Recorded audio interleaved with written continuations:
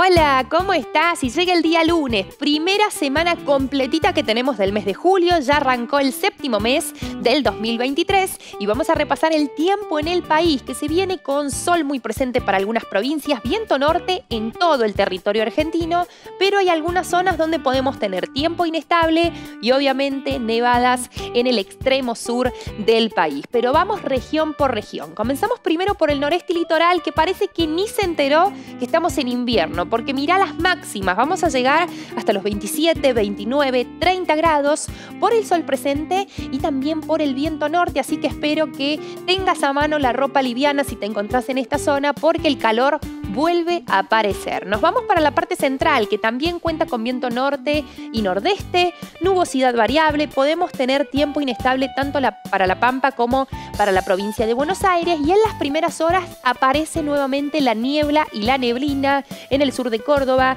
en la provincia de La Pampa y también en el oeste de Buenos Aires. Las temperaturas vuelven a aumentar principalmente para Córdoba, Santa Fe y Entre Ríos porque las máximas van a ser cálidas también, vamos a llegar hasta los 25 y 26, un poco menos para el resto de la región. Nos vamos ahora para la región de Cuyo, donde vamos a tener sol muy presente. En la última parte del día podemos tener algunas lluvias, lloviznas aisladas, tanto en San Luis como en la provincia de Mendoza, mínima de 5, 6 y 12 grados, máximas que llegan hasta los 22 y 23. En el noroeste argentino, viento norte, sol presente, aumentan las temperaturas, 23, 25 y 27 van a ser las máximas y viento norte fuerte para la Patagonia. Vamos a contar con nubosidad variable, tiempo inestable, toda la zona de cordillera, como también para la parte central de la región y también la parte sur. Tenemos que tener en cuenta que las nevadas siguen muy presentes en lo que es el oeste de la región y también en el extremo sur, como decíamos antes.